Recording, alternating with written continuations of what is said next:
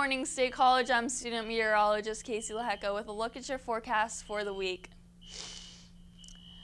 We will have clear and cool temperatures for today with sunny and warmer temperatures coming in tomorrow and unsettled weekend weather this weekend. Here's a live look at Mount Nittany with the sun coming up over the horizon and clear skies. Right now it is 39 degrees with a dew point at 37, so there is some humidity out there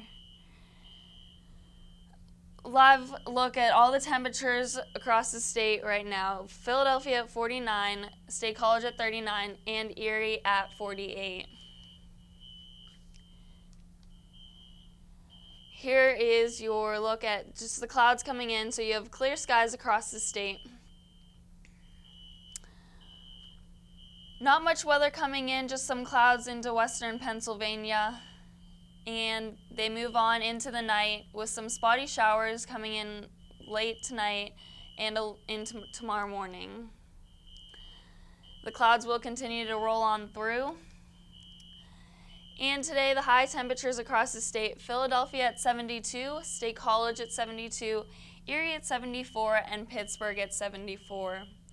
Tonight's forecast 51 for Philadelphia, 48 for Harrisburg, and 46 for State College with cold and clear temperatures. 57 for Pittsburgh and Erie at 56 tonight. For tomorrow, you'll have highs of around 76 in Philadelphia, State College at 77, Erie at 77, and Pittsburgh at 78. For your kickoff forecast for this weekend, you'll have a 3:30 p.m. game time and 72 for the start of the game with a chance of showers. So you might want to bring your umbrella. And for the fourth quarter, temperatures will drop into 65 with a chance of showers remaining, so the umbrella might come in handy.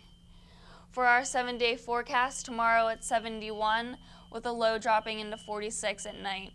For Friday, you'll have warmer and clear temperatures at 76 and the lows going into 58. This weekend you'll have temperatures in the low 70s and the the low temperatures at night will go into the high, uh, high 50s. Looking into next week, you'll have temperatures in the mid 60s and a chance of a shower or two looking at Tuesday through Wednesday.